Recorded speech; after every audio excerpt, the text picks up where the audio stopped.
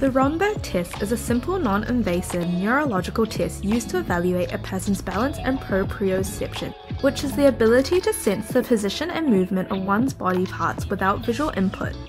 The test is often performed as part of a neurological examination, especially when evaluating patients with balance disorders or sensory ataxia. By removing visual input and focusing on the patient's proprioceptive and vestibular systems, the test can help identify potential issues related to balance and coordination.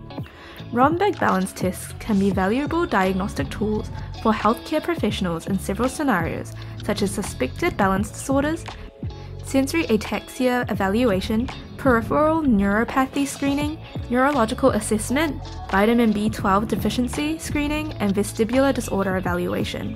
Here are some healthcare professionals who will find relevance in using the Romberg test, such as general practitioners, neurologists, physical therapists, occupational therapists, and nurses. To use our free Romberg test, follow these steps. Download our Romberg test from the CarePatron platform, which you can find in the link in the description. Firstly, follow the step by step instructions provided on the template to conduct the test. Record the patient's performance, noting any significant swaying or loss of balance. Document the test results, including whether the Romberg test is positive or negative. Use the recorded information to inform further clinical assessment and decision making. For the scoring, the Romberg scoring is straightforward, as the test is a pass or fail evaluation. A patient who maintains their balance without significant swaying or falling during the test is considered to have a negative Romberg test. Here is a sample of our Romberg test, which you can find on our CarePatron platform.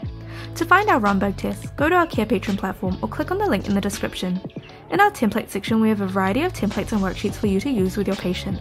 You can filter or type in the keywords to find the worksheet.